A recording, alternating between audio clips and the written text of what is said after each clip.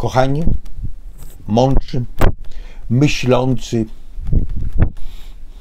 korzystający z rozumu.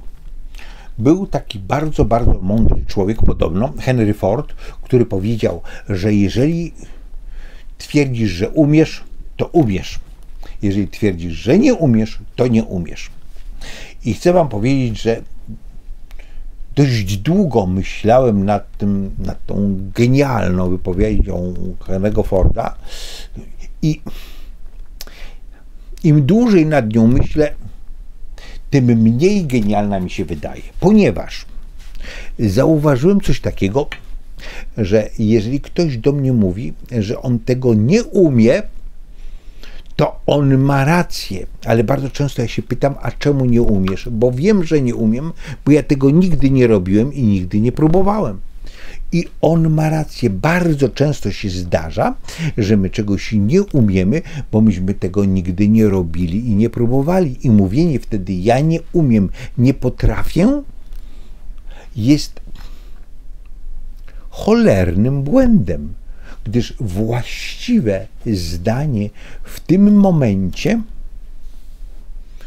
to jest ja jeszcze tego nie potrafię.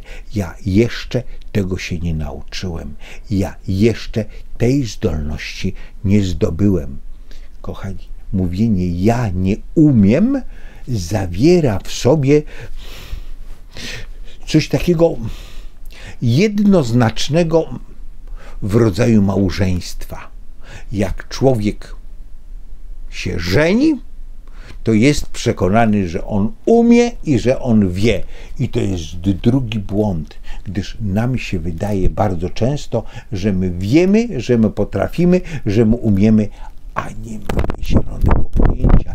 I dlatego bardzo często proponowałbym, żeby używać zamiast ja umiem, ja całkiem nieźle opanowałem tę umiejętność ale to nie znaczy, że do końca, gdyż, moi kochani, dobrze wiecie, że w podtekście zawsze mam e, stosunki damsko-męskie.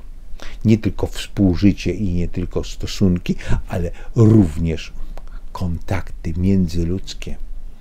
I nie spotkałem jeszcze takiego mężczyznę, który by powiedział, że on potrafi dać sobie radę z kobietą i że on wie, co robi i że to jest prawda. I dlatego proponuję, abyście nigdy nie, nie mówili, że ja nie umiem i nigdy nie, nie mówili, że ja umiem.